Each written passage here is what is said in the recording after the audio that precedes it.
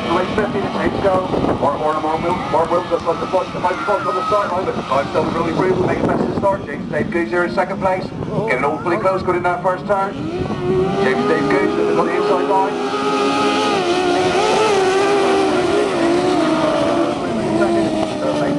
Terry Manley. Fourth place, Joe Morgan, place, third. Jason Farwell, Joe Morgan, Jay Clutter, look like, look like he spun it, come off the far turn, one in fourth place. Service, Jason Car Farwell, we've got the fourth.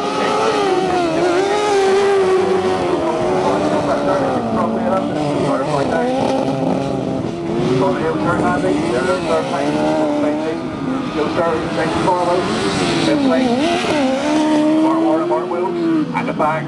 After spinning the bike one in fourth place, that's Joe Morgan, Jay Cutler. I've done the group, they say right in there in second place. Driven up the place,